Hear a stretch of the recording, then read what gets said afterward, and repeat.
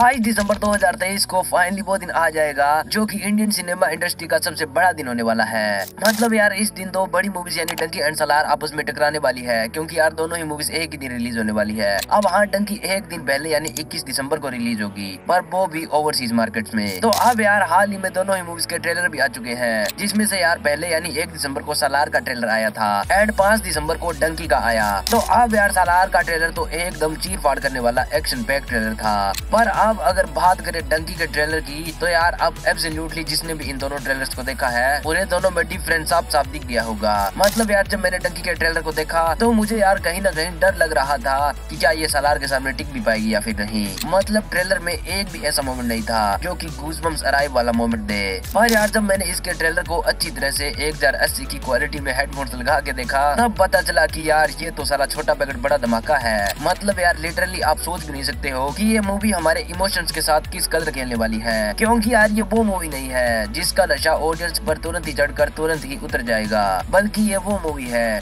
जिसका नशा ऑडियंस पर धीरे धीरे पर एक लॉन्ग ड्रम में चढ़ेगा।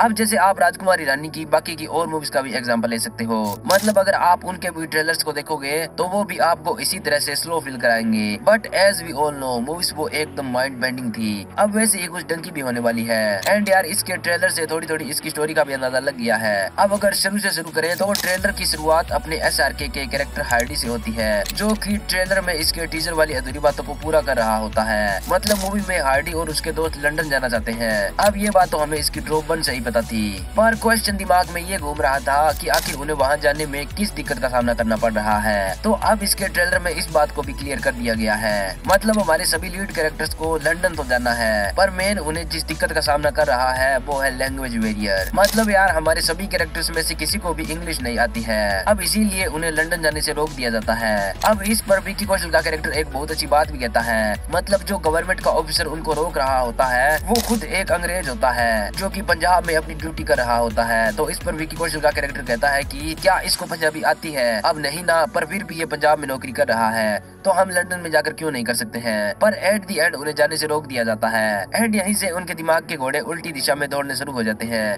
और वो लीगली नहीं तो इलीगली तरीके से लंदन जाने की कोशिश करते हैं। एंड हाँ इसी को टंकी फ़्लाइट कहा जाता है। तो अब इसमें उन्हें कई देशों से होकर गुजरना पड़ेगा। एंड ऑब्वियसली वहाँ की पुलिस एंड आर्मी से भी बच कर रहना पड़ेगा। एंड ट्रेलर में हमें दिखाया भी जाता है की उन्हें कितनी ज़्यादा मुश्किलों का सामना करके वहाँ जाना पड़ता है। मतलब सिर्फ़ ट्रेलर ट्रेलर में वो लोग चार अलग अलग तरीकों से लंदन जाने की कोशिश कर रहे हैं। जैसे पहले वो एक रेगिस्तानी रास्ते में से पैदल जा रहे होते हैं और फिर एक नदी के रास्ते से एक बोट में बैठ कर जा रहे होते हैं। एंड आगे भी एक ट्रेन एंड ट्रक में बैठ कर पुलिस वालों से छुपते छुपाते जा रहे हैं। तो यार, ये मूवी जो इमोशन का एक तार होती है, उसे तो बहुत ही ज़्यादा ज़ोर से हिलाने वाली है। अब आगे हमें ये भी दिखाया जाता है की अपने हार्डी का कैरेक्टर एक वेडिंग सूट में होता है। तो ऑब्वियसली वो लंदन में जाकर शायद वहाँ पर सेटल हो गए होंगे। पर फिर शायद कुछ ऐसा होगा, जिस कारण उन्हें वापस अपने वतन यानी हिंदुस्तान लौटना पड़ेगा, वो भी 25 साल बाद। अब मैं पूरी तरह से श्योर नहीं हूँ, पर शायद 25 साल बाद हार्डी और उसके दोस्तों के ही जैसे कुछ और लोग होंगे, जो कि उन्हीं की तरह लंदन या किसी और वेस्टर्न कंट्री में जाना चाहते होंगे। और फिर अपना हार्डी उन्हें अपनी आप बीती बताएगा। अब इसीलिए चाहे आप इसका टीजर ले लो या इसका ट्रेलर दोनों में ही हार्डी अपनी कहानी को बयां कर रहा है। अब वैसे यार, अगर अभी भी मन में ये डाउट है की क्या ये मूवी सालार के सामने चल भी पाएगी या फिर नहीं तो यार फिर शायद आप इसके डायरेक्टर राजकुमार हिरानी को जानते नहीं हो। मतलब हाँ बंदा मासी एक्शन वाली मूवीज़ नहीं बनाता है, पर जो बनाता है, वो ऐसी होती है जिसके बारे में लोग कई सालों तक चर्चा करते हैं।